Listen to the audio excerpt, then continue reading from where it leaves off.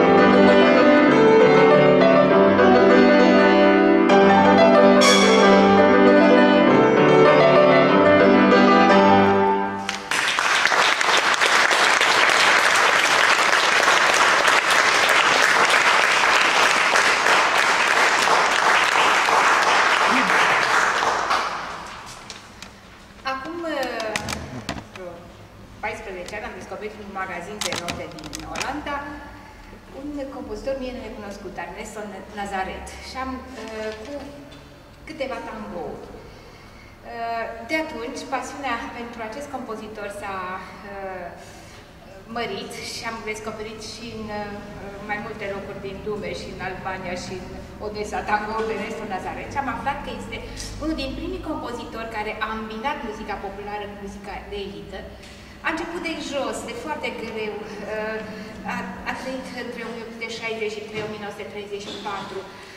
a cântat în cinematografe, de aceea un, un tango, o să-l vedeți mai târziu, se numește Odeon, pentru că a cântat la cinematograf Odeon.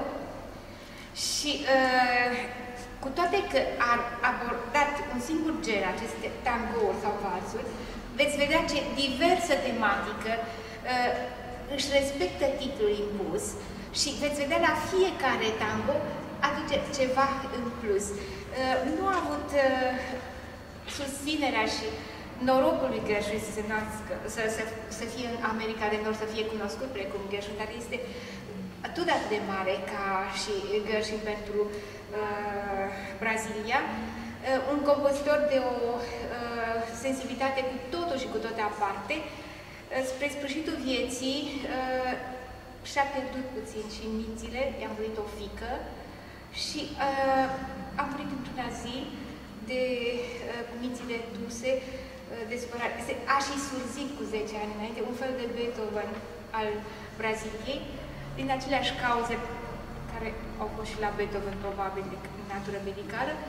Și o să vedeți însă că muzica lui este atât de proaspătă și atât de uh, luminoasă și uh, variată, încât nu o să vă plictisiți la cele uh, atât de multe piese pe care le-am inclus, și tangouri și valsuri. La început, un tango remando, ceea ce înseamnă pe aici și pe acolo.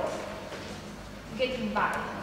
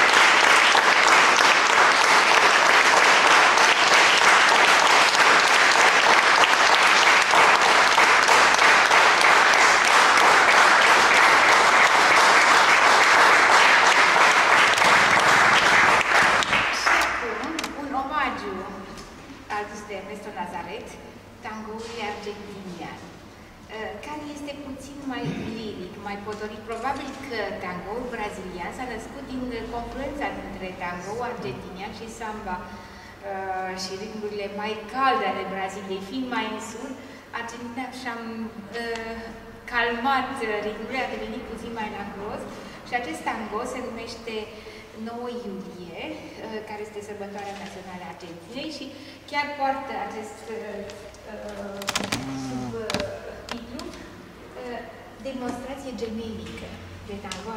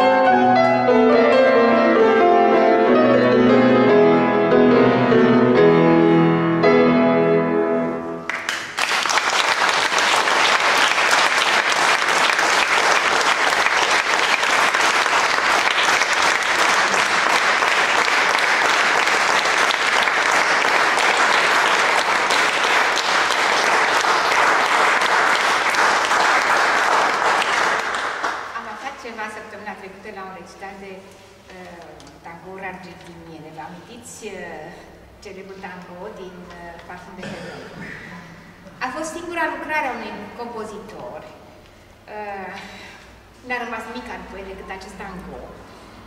Dar acest tango se execută cu o viteză extraordinară, odată la două minute pe în globul pământesc.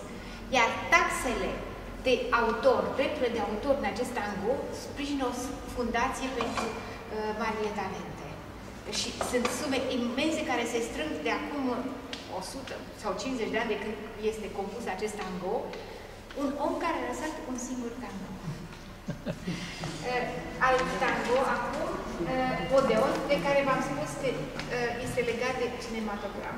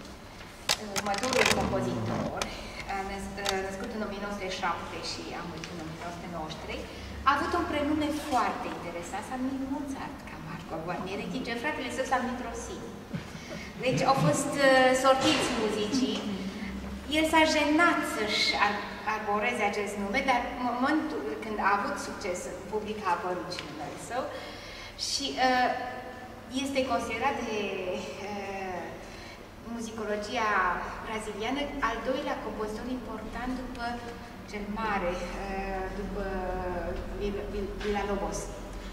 Și uh, veți asculta acum o Dasa Negra, uh, care cred eu că vă evocă cel mai bine pentru cei care au văzut acum 20 ceva de ani atmosfera acelui serial superb Sclava Isaura.